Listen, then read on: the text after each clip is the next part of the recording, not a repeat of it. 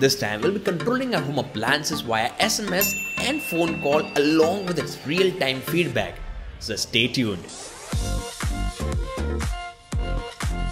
So hello and welcome everyone to yet another home automation project and this is the very first time I'm trying to control the home appliances via SMS and phone call and it's just because of you people. Yes, many of you people ask me that, hey Sachin, why don't you try this TTGO TCall module to control the home appliances via SMS and phone call? And as you ask for, I made it just for you. And that's why I always say, do comment below your project ideas and maybe we can come up with that project videos onto our channel. So yeah, also let me know which more projects you want uh, me to make on this channel into the comment section of the video. And that being said, let's start with this project. This video is sponsored by Altium, which is a PCB designer based software company.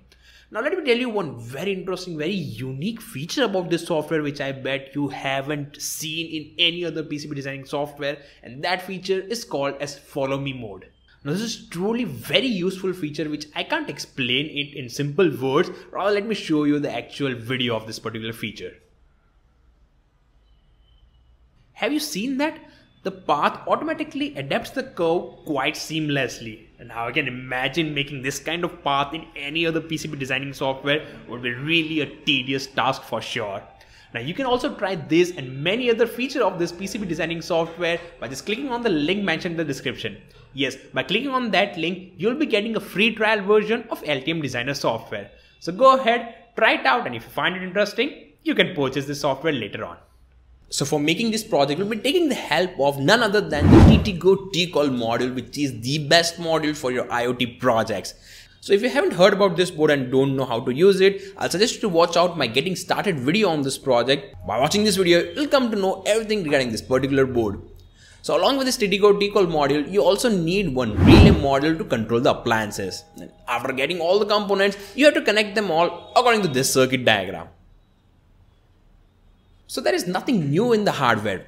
Everything, every logic, every magic is happening with the help of the code. So let's just jump onto Arduino IDE and observe the code for this project. So here's the code for our project. Now I will let you know what changes you have to make in this code to work it on your side as well.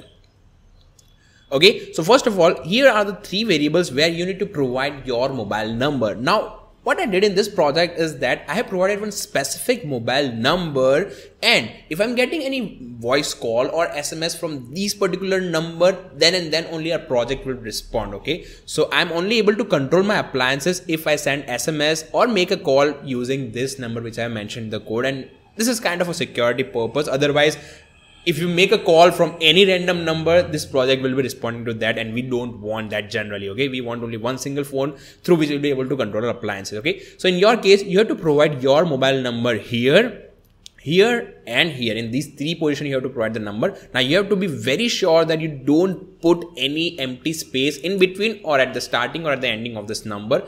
Make sure you don't put any space otherwise this code won't work okay? Straight after that here i have defined the relay pin as 18 as i have connected the relay module to the pin 18 of a ttgo tcall module now as this is just a demo project. I have put only single relay here and i'm only be controlling one single appliances. But in future you can also you know control multiple appliances via sms using phone call you'll be able to control one single appliance only. But using sms you can control n number of appliances. For that you need to you know make bit changes in the code okay? But let's just understand this demo code on how to control one single appliance appliance and then you'll be pretty much you know comfortable to replicate this code for other projects. Straight after that we'll jump onto the loop and in the loop we have only one single function which says update serial which will be you know responsible for sending and receiving the serial data uh, between the ESP32 to the main controller and the GSM module okay so what we are doing here is first of all any data coming from the GSM module will be read by this particular function it will be stored inside one variable called as res okay?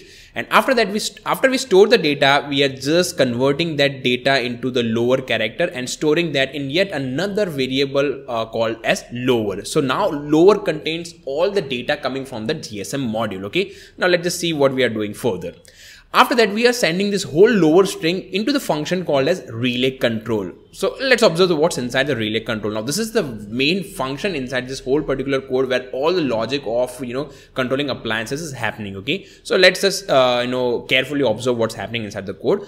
So here, first of all, we have an if condition where we are comparing two different character pointers, which is lower and MSD, which stands for message. Now, what is this comparison all about? This comparison is about if the received data is an SMS if is it so, this if condition will be satisfied and will be, uh, the code will jump inside this particular function. After that, we'll be storing whole data from this variable to one string called as source. After that, we'll be extracting what's the actual SMS we have received from that whole GSM data. After extracting what message is, we'll be printing uh, what's message inside our serial monitor of our ESP32 board. After that, in case in the message we have the data called as relay on, we are turning on the relay and in case we have message as relay off, we are just turning off the relay. And not only that, after turning it on and off, we are also sending a real-time feedback using this function called as modem.send SMS, okay? So, after we are turning on the relay, we are also letting the user know that relay is turned on, okay? So, it's a real-time feedback that we are sending that, hey, your message is successfully received and we have turned on the relay, okay? This is very useful feature in this particular project. Similarly, when relay is turned off, we are also sending a message as relay is turned off. So this was all about how we are controlling the appliances using the SMS and how we are getting the feedback as well. Now let us observe how we are controlling the appliances with the help of a voice call. So for that, this if condition will going to get satisfied. Okay. So in case we are getting the data from the GSM module, which is regarding a voice call, then this condition will be satisfied and a code will go inside this particular if condition. Now here, as soon as we are getting a call, first of all, what we are doing is we are just hanging up the call. So after one single ring, TTCode module will automatically hang up the call. Okay. And straight after that, what it will do initially if the relay was on it will directly turn it off. And initially if relay was off it will directly turn it on. So basically it is toggling based on the voice call. So when you call it for the first time it will turn on the relay. When you call it for the second time it will turn off the relay. Okay so we are just toggling. And not only that uh, after we turn on and off the relay we are also sending the real-time feedback with the same function modem.send sms okay so real-time feedback of voice call will be sent to the user via SMS. Okay. So this is the whole logic about how we are able to control the appliances using the voice call, using the SMS along with this real-time feedback. So that's it about the code. Now I'll select the right board, which is the ESP32 Wrover module. Select the right board and straight away hit the upload button. So by the time the code gets uploaded, I'll make the connections of the relay module with the bulb. Okay, so the code is successfully uploaded and I also successfully made the connection of the bulb with the relay module. Now let's just see this project in action.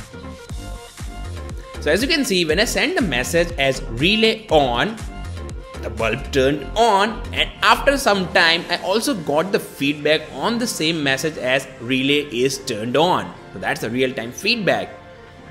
And now let's just turn off the bulb with the help of a voice call. So I'll make a call to this number as you can see, relay got turned off. And if I open my message application, as you can see, I also got the feedback as relay is turned off. Similarly, we can turn on and off the relay with the help of an SMS, with the help of the phone call using the GSM module. So yeah, that was all about this demo project on how you can control your home appliances with the help of SMS and with the help of a voice call from any corner of the world until unless you have the GSM connectivity option. I hope you enjoyed this project. And if it's so, do click the like button. And also let me know in the comment section about what more projects you want to see in future on this channel. And me and my team will definitely try to make that project for you and upload it onto this youtube channel. And if you're new to this channel make sure you subscribe as we often come with this kind of uh, electronic and iot project tutorials onto this channel every sunday. And that being said ending this video here. And now just wait for my next video and then explore learn share with me. Techie sms